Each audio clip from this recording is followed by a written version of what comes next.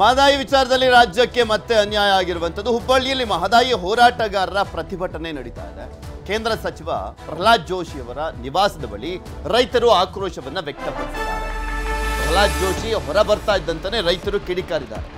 ಮಹದಾಯಿ ವಿಚಾರದಲ್ಲಿ ರಾಜ್ಯಕ್ಕೆ ಮತ್ತೆ ಅನ್ಯಾಯ ಆಗಿರುವಂಥದ್ದು ಹುಬ್ಬಳ್ಳಿಯಲ್ಲಿ ಮಹದಾಯಿ ಹೋರಾಟಗಾರರು ಪ್ರತಿಭಟನೆಯನ್ನ ಮಾಡಿದರು.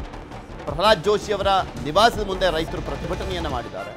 ಯಾಕೆ ಪ್ರಹ್ಲಾದ್ ಜೋಶಿ ಅವರ ನಿವಾಸದ ಮುಂದೆನೆ ಅಂದ್ರೆ ಕೇಂದ್ರದಲ್ಲಿ ಈಗ ಬಿ ಜೆ ಪಿಯಲ್ಲಿ ಒಂದು ರಾಜ್ಯ ಮತ್ತು ಕೇಂದ್ರದ ನಡುವೆ ಒಂದು ಬ್ರಿಡ್ಜ್ ರೀತಿಯಲ್ಲಿ ಇರುವಂಥದ್ದು ಅಂದ್ರೆ ಪ್ರಹ್ಲಾದ್ ಜೋಶಿ ನೋ ಡೌಟ್ ಈ ಹಿಂದೆ ಅನಂತ್ ಕುಮಾರ್ ಅವರಿದ್ದಂತೆ ಪ್ರಹ್ಲಾದ್ ಜೋಶಿ ಅವರಿದ್ದಾರೆ.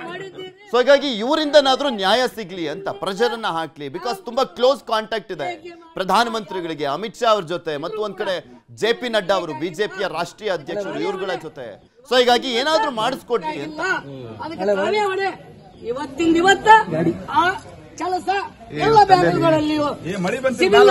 ಸಿಬಿಲ್ ಹಾಕಿ. ಸಿಬಿಲ್ ತೆಗೆದು ಹಾಕಿ.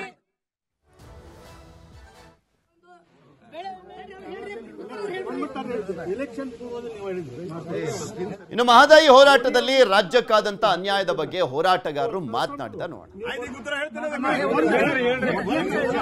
ನೋಡಿ ಈಗಾಗಲೇ ನಮಗೆ ಮಧ್ಯಂತರ ಆದೇಶ ಬಂದಿತ್ತು, ಹದಿಮೂರುವರೆ ಟಿ ಎಮ್ಸನ್ನು ಕೊಡಬೇಕು ಅಂತ ನಾಲ್ಕು ವರ್ಷದ ಹಿಂದೆ.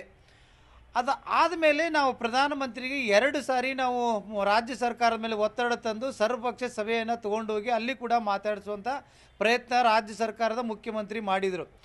ಆದರೆ ಇವತ್ತು ಈ ಭಾಗದ ಒಂದೂವರಿಂದ ಎರಡು ಕೋಟಿ ಜನರಿಗೆ ಕುಡಿಯುವ ನೀರಾಗಿರ್ಬೋದು ಮತ್ತು ಈ ಭಾಗದ ಕಾರ್ಖಾನೆಗಾಗಿರ್ಬೋದು ಮತ್ತು ವ್ಯವಸಾಯಕ್ಕೆ ನೀರು ಬೇಕು ಅಂತ ನಾವು ಹೋರಾಟವನ್ನು ಮಾಡ್ತಾ ಇದ್ದೇವೆ. ಒಂದು ಕಡೆ ಕರ್ನಾಟಕಕ್ಕೆ ಮಲತಾಯಿ ಧೋರಣೆ ಮಾಡ್ತಿರುವಂಥ ಪ್ರಧಾನಮಂತ್ರಿಗಳು ಈ ಸಮಸ್ಯೆಯನ್ನು ಇತ್ಯರ್ಥ ಸರಿಪಡಿಸ್ತಾ ಇಲ್ಲ. ಇದ್ರ ಮಧ್ಯದಲ್ಲಿ ನಿನ್ನೆ ಬರೀತಾರೆ, ರಾಜ್ಯ ಸರ್ಕಾರಕ್ಕೆ ಪತ್ರ ಬರೀತಾರೆ.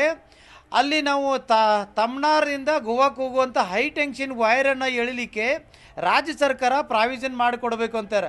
ಅಲ್ಲಿ ಹುಲಿ ಕಾರ್ಯ ಮಹದಾಯಿ ವಿಚಾರದಲ್ಲಿ ರಾಜ್ಯಕ್ಕೆ ಮತ್ತೆ ಅನ್ಯಾಯ ಆಗಿರುವಂಥದ್ದು. ಹುಬ್ಬಳ್ಳಿಯಲ್ಲಿ ಮಹದಾಯಿ ಹೋರಾಟಗಾರರ ಪ್ರತಿಭಟನೆ ನಡೀತಾ ಇದೆ. ಕೇಂದ್ರ ಸಚಿವ ಪ್ರಹ್ಲಾದ್ ಜೋಶಿ ಅವರ ನಿವಾಸದ ಬಳಿ ರೈತರು ಆಕ್ರೋಶವನ್ನ ವ್ಯಕ್ತಪಡಿಸಿದ್ದಾರೆ. ಪ್ರಹ್ಲಾದ್ ಜೋಶಿ ಹೊರ ಬರ್ತಾ ಇದ್ದಂತಾನೆ ರೈತರು ಕಿಡಿಕಾರಿದ್ದಾರೆ.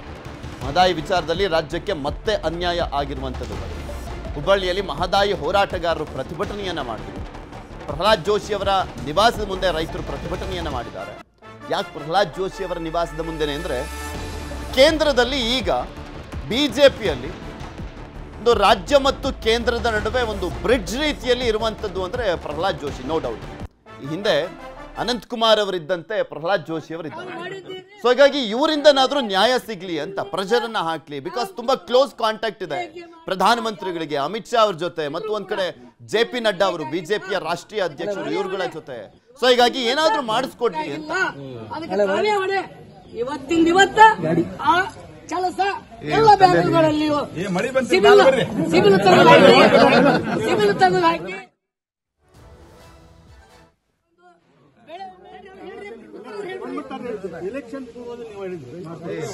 ಇನ್ನು ಮಹದಾಯಿ ಹೋರಾಟದಲ್ಲಿ ರಾಜ್ಯಕ್ಕಾದಂತ ಅನ್ಯಾಯದ ಬಗ್ಗೆ ಹೋರಾಟಗಾರರು ಮಾತನಾಡಿದ ನೋಡೋಣ. ನೋಡಿ ಈಗಾಗಲೇ ನಮಗೆ ಮಧ್ಯಂತರ ಆದೇಶ ಬಂದಿತ್ತು ಹದಿಮೂರುವರೆ ಟಿ ಎಮ್ಸನ್ನು ಕೊಡಬೇಕು ಅಂತ ನಾಲ್ಕು ವರ್ಷದ ಹಿಂದೆ. ಅದು ಆದಮೇಲೆ ನಾವು ಪ್ರಧಾನಮಂತ್ರಿಗೆ ಎರಡು ಸಾರಿ ನಾವು ರಾಜ್ಯ ಸರ್ಕಾರದ ಮೇಲೆ ಒತ್ತಡ ತಂದು ಸರ್ವಪಕ್ಷ ಸಭೆಯನ್ನು ತೊಗೊಂಡೋಗಿ ಅಲ್ಲಿ ಕೂಡ ಮಾತಾಡಿಸುವಂಥ ಪ್ರಯತ್ನ ರಾಜ್ಯ ಸರ್ಕಾರದ ಮುಖ್ಯಮಂತ್ರಿ ಮಾಡಿದರು. ಆದರೆ ಇವತ್ತು ಈ ಭಾಗದ ಒಂದೂವರಿಂದ ಎರಡು ಕೋಟಿ ಜನರಿಗೆ ಕುಡಿಯುವ ನೀರಾಗಿರ್ಬೋದು ಮತ್ತು ಈ ಭಾಗದ ಕಾರ್ಖಾನೆಗಾಗಿರ್ಬೋದು ಮತ್ತು ವ್ಯವಸಾಯಕ್ಕೆ ನೀರು ಬೇಕು ಅಂತ ನಾವು ಹೋರಾಟವನ್ನು ಮಾಡ್ತಾ ಇದ್ದೇವೆ. ಒಂದು ಕಡೆ ಕರ್ನಾಟಕಕ್ಕೆ ಮಲತಾಯಿ ಧೋರಣೆ ಮಾಡ್ತಿರುವಂಥ ಪ್ರಧಾನಮಂತ್ರಿಗಳು ಈ ಸಮಸ್ಯೆಯನ್ನು ಇತ್ಯರ್ಥ ಸರಿಪಡಿಸ್ತಾ ಇಲ್ಲ. ಇದ್ರ ಮಧ್ಯದಲ್ಲಿ ನಿನ್ನೆ ಬರೀತಾರೆ, ರಾಜ್ಯ ಸರ್ಕಾರಕ್ಕೆ ಪತ್ರ ಬರೀತಾರೆ. ಅಲ್ಲಿ ನಾವು ತ ತಮ್ನಾರ್ದಿಂದ ಗೋವಾಕ್ಕೆ ಹೋಗುವಂಥ ಹೈ ಟೆನ್ಷನ್ ವೈರನ್ನು ಎಳಿಲಿಕ್ಕೆ ರಾಜ್ಯ ಸರ್ಕಾರ ಪ್ರಾವಿಷನ್ ಮಾಡಿಕೊಡ್ಬೇಕು ಅಂತಾರೆ. ಅಲ್ಲಿ ಹುಲಿ ಕಾರ್ಯ ಕನ್ನಡಿಗರ ನೆಚ್ಚಿನ ನ್ಯೂಸ್ ಏಟೀನ್ ಕನ್ನಡ ಈಗ ವಾಟ್ಸ್ಆಪ್ನಲ್ಲೂ ಲಭ್ಯ. ಕರ್ನಾಟಕ, ದೇಶ, ವಿದೇಶಗಳ ತ್ರೀ ಸಿಕ್ಸ್ಟಿ ಡಿಗ್ರಿ ಸುದ್ದಿಯ ವಿವರಗಳನ್ನ ನಿಮ್ಮ ಕೈ ಬೆಳುಗಳಲ್ಲೇ ಪಡೀಲಿಕ್ಕೆ ಈ ಕ್ಯೂ ಆರ್ ಕೋಡ್ ಅನ್ನ ಸ್ಕ್ಯಾನ್ ಮಾಡಿ. ನಮ್ಮ ಚಾನಲ್ ಫಾಲೋ ಮಾಡಿ ನೋಟಿಫಿಕೇಶನ್ ಆನ್ ಮಾಡಿ.